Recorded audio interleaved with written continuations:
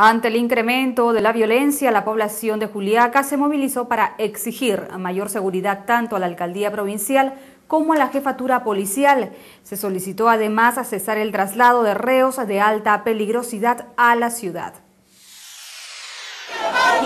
Diversos gremios sociales encabezados por la Asociación de Cambistas de la provincia de San Román se movilizaron para demandar mayor seguridad policial, ello a raíz de los recientes asaltos y ajusticiamientos populares que se han suscitado en la ciudad de Juliaca. sus jefes,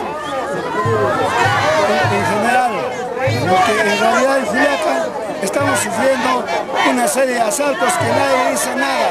El último asalto ocurrido en el sector conocido como Coñita motivó a la ira de los pobladores pues la delincuencia, finalmente, y los delincuentes armados se llevaron 25 mil dólares. Padres de la Apache, bien con respaldo, con policías, todos, y nosotros que la pobre gente de Ocoña, ¿qué es? Todo el pueblo debemos estar unidos, señores periodistas, para que se vaya la delincuencia de la capilla. No es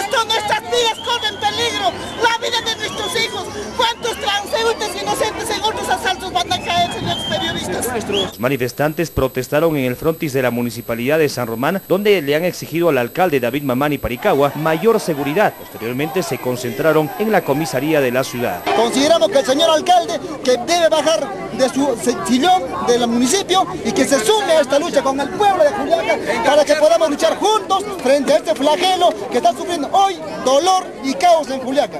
Asimismo se trasladaron a la gobernación provincial donde se encontraron una tanqueta policial, pero increíblemente los responsables de la institución no se encontraban en su zona. Al término de esta marcha se ha firmado un acta donde será enviado al presidente del Consejo de Ministros en Lima. En el documento también se plantea la suspensión total del traslado de reos de alta peligrosidad al penal de Juliaca, hecho que ha generado un incremento en la actividad delincuencial.